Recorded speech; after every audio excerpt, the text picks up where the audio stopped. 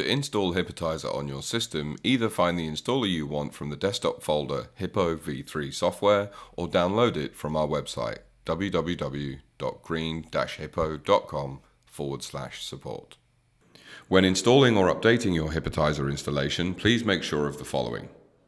You have backed up any existing programming, video maps, pixel maps, etc.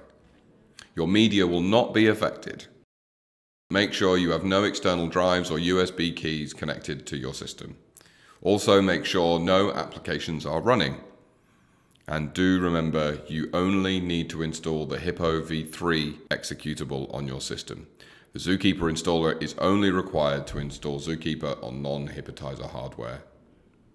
If you are unsure as to whether you will use the new installation or wish to roll back to the existing installation, we recommend renaming C Hippotizer v3 such as Hippotizer v3 old.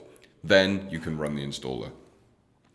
This will create a fresh installation of Hippotizer onto your system and if you wish to roll back, simply delete the new Hippotizer v3 folder that will be created, rename the original folder back to Hippotizer v3 and start the application.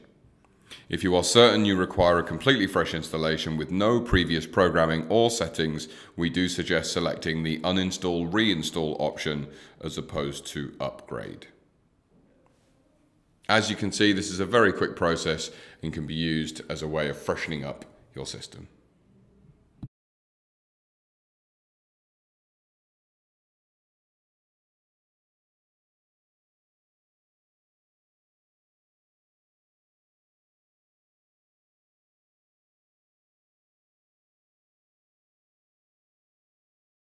If you are installing the Hippotizer v3 software onto a Hippotizer HD, please make sure to select the correct case.